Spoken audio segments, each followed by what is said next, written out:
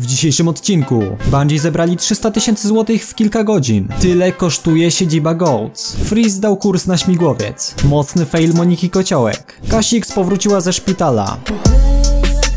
Zacznijmy od zdrowotnej aktualizacji streamerki Kasix. Kilka odcinków temu informowałem was o tym, że Kasia miała na jednej z transmisji udar, a po nim została przetransportowana do szpitala, gdzie spędziła kilka dobrych dni. Na Insta na bieżąco informowała nas o swoim stanie. Dostaliśmy informację, że wyszła ze szpitala, a po niedługim czasie mogliśmy ją obserwować na Twitchu. Jak sama mówi, przyczyny udaru dalej nie zna, a kolejne badania, które na bieżąco przychodzi, nic jej nie mówią. Dodatkowo Katarzyna pokazała, że dalej ma problemy z lewą częścią ciała. mogę podrzucić i trzymać taką pełną wodę, no nie? A tą ręką mogę ledwo trzymać taką wodę.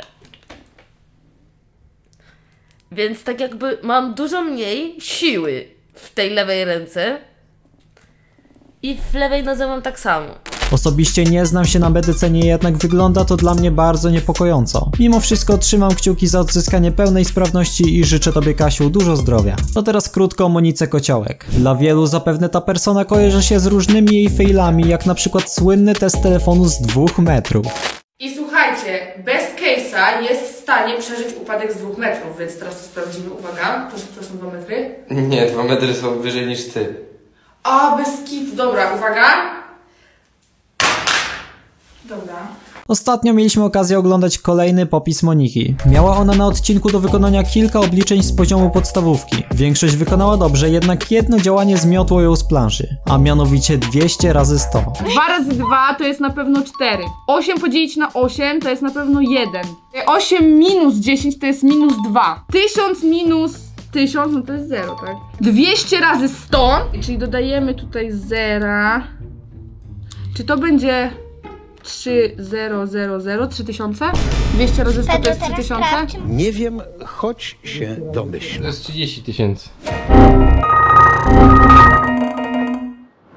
Dobrze, dobrze, dobrze, dobrze, dobrze. Ale tu Piątka, ale piątka Dam mi. ci Nie, bo tu jej podpowiedziałeś. 4 plus. Musisz się jeszcze poduczyć. Dawaj jakieś pytanie zadaj czajnikowi, wymyśl coś. Ile to 100 razy 200? 100 razy 200 wystarczy zera przepisać. Matematyczna lekcja tam dalej i to jest 20 tysięcy, moi drodzy. Tak? A no w sumie tak, czekaj.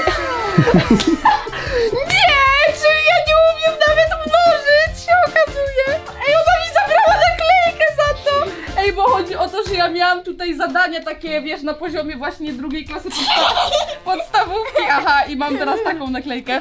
E, I było właśnie 100 razy 200. Ja mówię, no i też znam to z y, matematyki, że trzeba zera przepisać i później sobie to ten...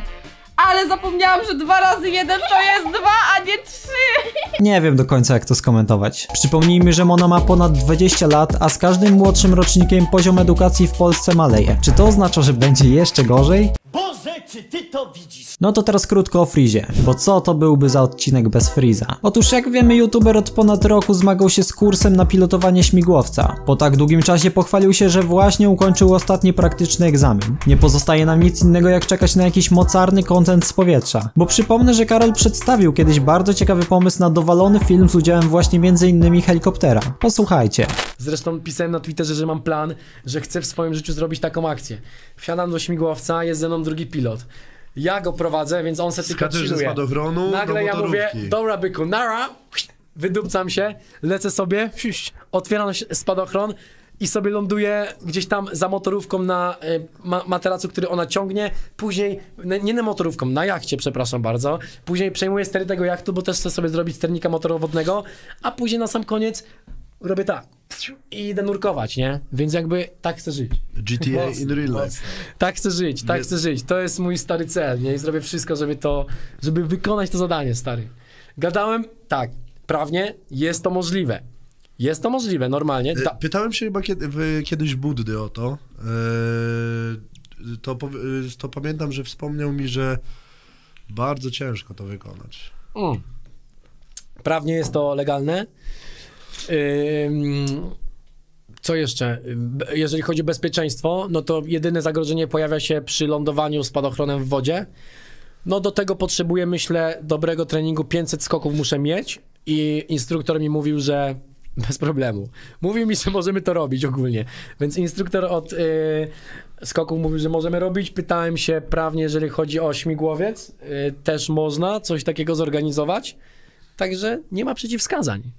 No to teraz trochę pogadajmy o siedzibie Goats, czyli tak zwanej ambasadzie. Na portalu bub.pl jeden z redaktorów dokopał się do ogłoszenia wynajmu obiektu, w którym aktualnie współpracują takie osoby jak Wojtek Gola, Boxdel, Błoński i Izaki Wardęga. Dom wraz z całą posesją jest do wynajęcia za okrągłe 45 tysięcy złotych, a stały wykup według tego artykułu waha się od 17 do 21 milionów. No są to bardzo duże pieniądze i widać, że panowie nie oszczędzają na projekcie. Na koniec pogadajmy o bardzo fajnej akcji zorganizowanej przez ekipę Bungie, czyli Ginolda i Bandurę. Postanowili oni drugi raz wesprzeć organizację Dios i stworzyli zbiórkę pieniędzy na schronisko w Wojtyszkach. To jest coś niesamowitego, bo influencerzy w kilka godzin uzbierali 300 tysięcy złotych, a w momencie kiedy to nagrywam, czyli niecały dzień od startu jest już ponad 400 tysięcy, a do zbiórki przyłączyło się blisko 30 tysięcy użytkowników. Również Was zachęcam do przyłączenia się do tej szczytnej akcji. Link macie w przypiętym komentarzu.